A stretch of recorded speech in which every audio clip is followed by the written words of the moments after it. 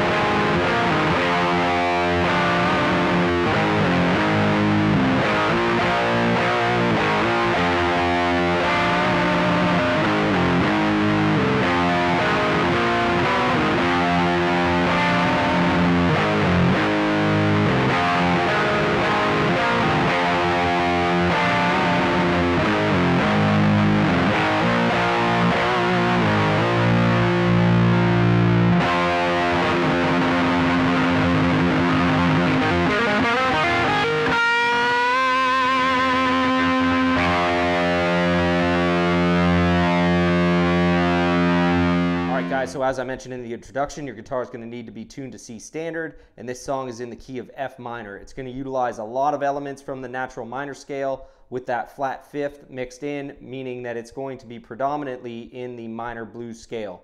Uh, it's going to have an appearance from uh, one or two other tones, but predominantly that's where we're, we're working for this one. So based on looking at very early live performances of the song, I believe the original recording just starts on this fourth string fifth and seventh frets with a bunch of trills.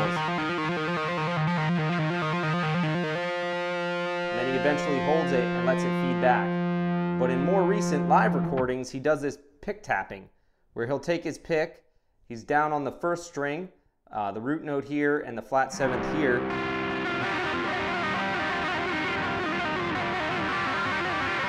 He's doing this pick tapping. Sort of progresses it up.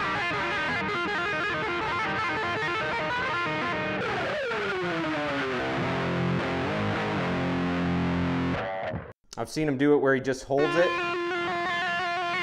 at the fifth fret. I've seen him do it where he's pulling it off.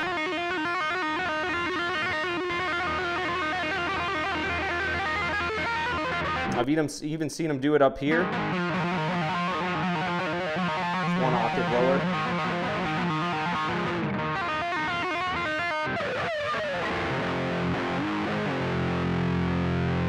And he does that pick scrape sort of classic. Just down the sixth string. The song's going to be broken down into four main riffs. You've got the verse riff, the chorus riff, the bridge riff, and the solo slash outro riff. So the verse riff goes like this.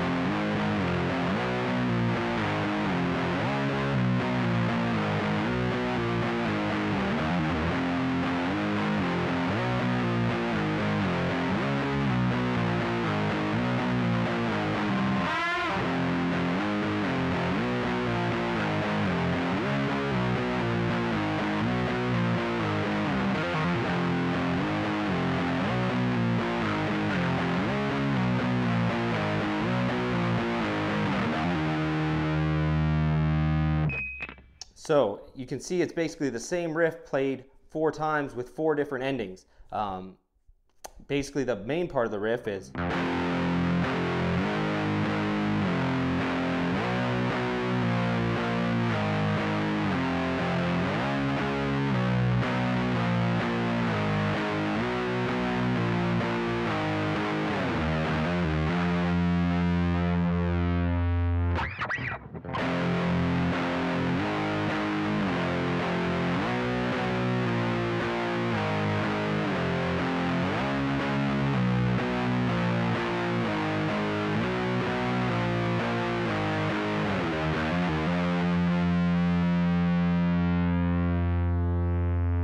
first time through you're going to play it, you're going to end with that. On the sixth string between the third and fifth frets. The second time, you're going to do this unison bend um, on the first string, fifth fret, and second string, eighth fret. Basically bending that uh, note at the eighth fret up to the root note at the 10th fret.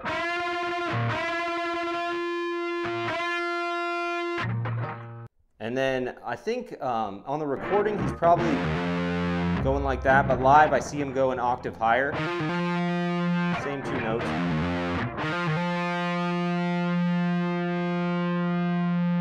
And then before he transitions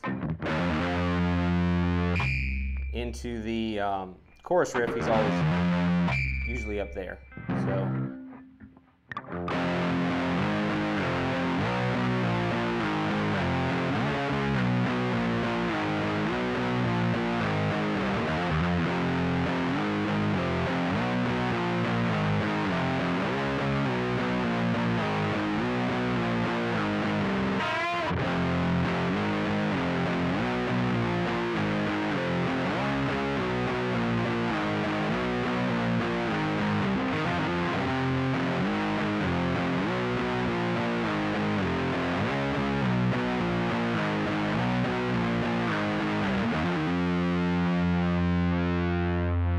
So you notice these notes are right at home in that minor blues scale there. The flat fifth coming in here.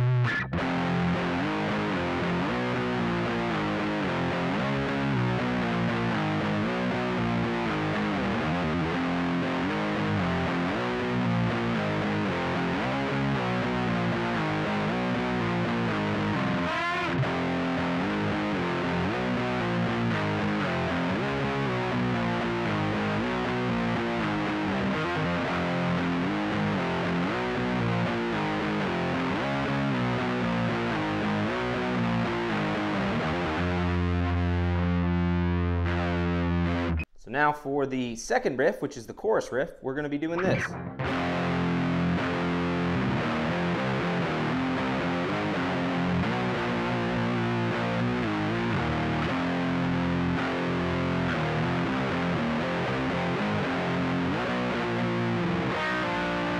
So again, using very similar chords, all within that minor blues scale.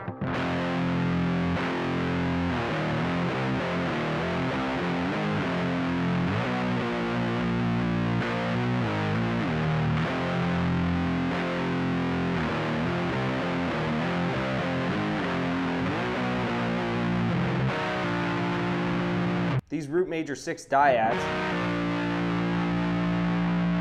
uh, which we've seen in Aquarian uh, in a very similar position, also in the key of F minor. Um, he is playing at the eighth and seventh frets uh,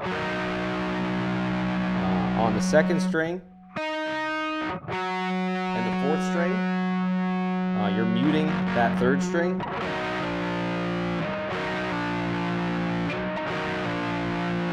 So that's an appearance from the flat second, sliding to the root.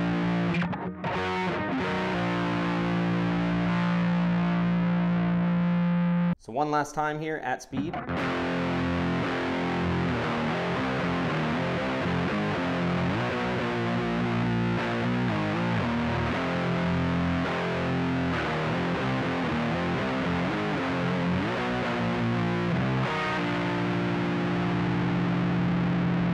You'll notice all the sliding going on uh, and the vibrato, the heavy vibrato. When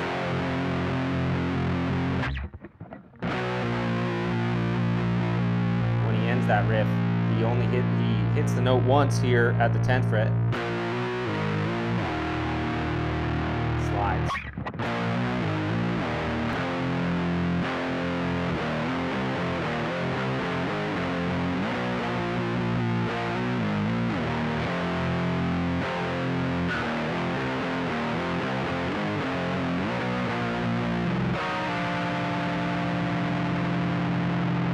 So the bridge riff here sort of plays off this uh, root perfect fourth open position.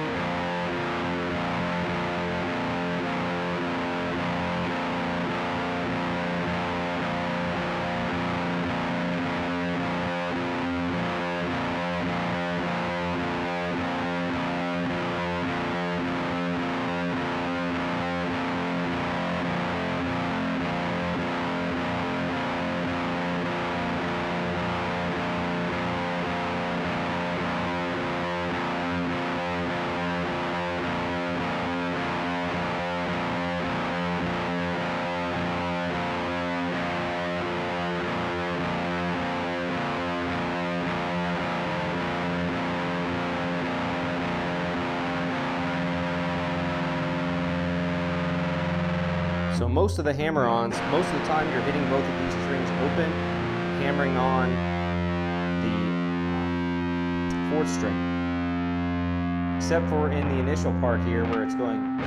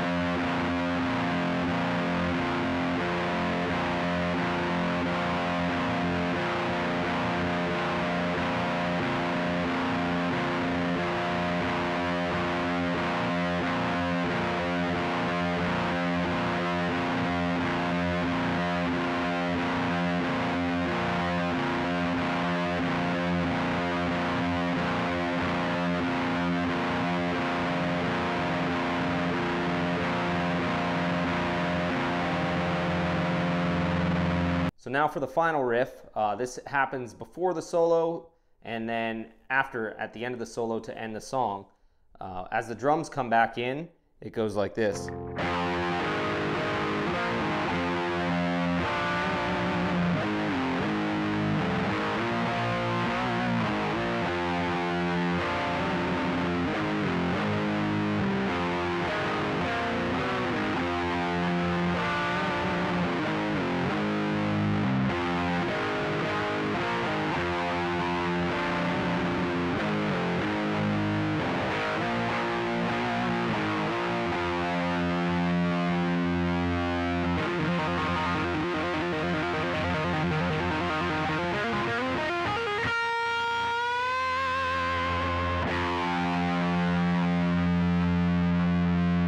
So this section of the song is playing off a lot of double stops and some interesting ideas. Uh, again, you're going to see the appearance of that uh, root major six dyad. So I'm playing off these cool dyads at the fifth, seventh, and eighth frets on the third and fourth strings.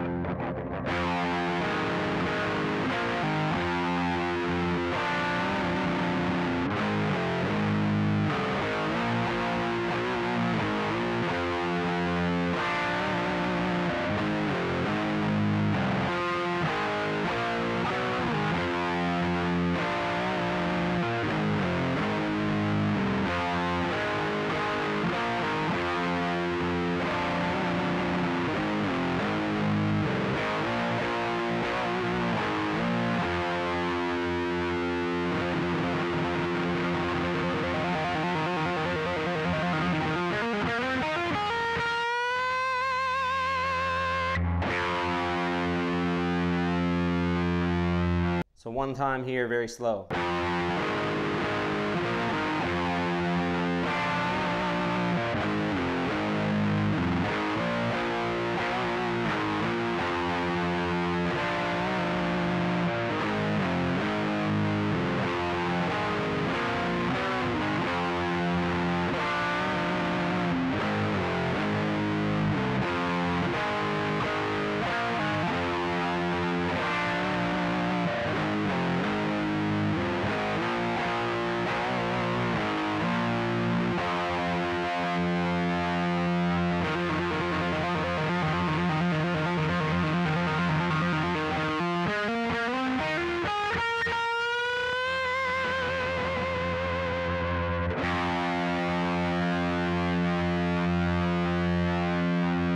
One last time here at speed.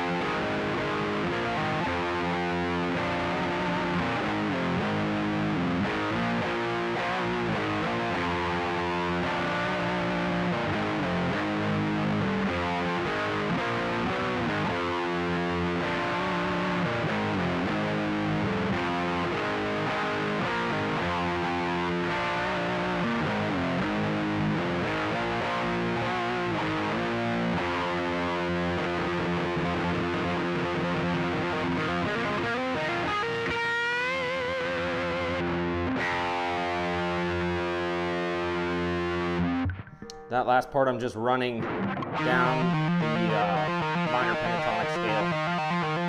Key F.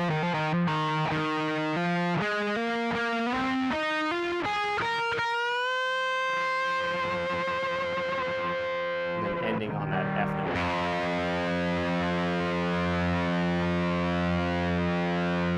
All right, guys, I hope you enjoyed that lesson. Uh, as always, you know, let me know in the comments what you thought of it. Let me know what you'd like to see me do next. I'm always taking requests. Don't forget to tag me on Instagram at Does It Doom, at It Dooms, hashtag Does It Doom, hashtag It Dooms, and I will repost your rigs and riffs. Until next time, Tony Iommi is your friend.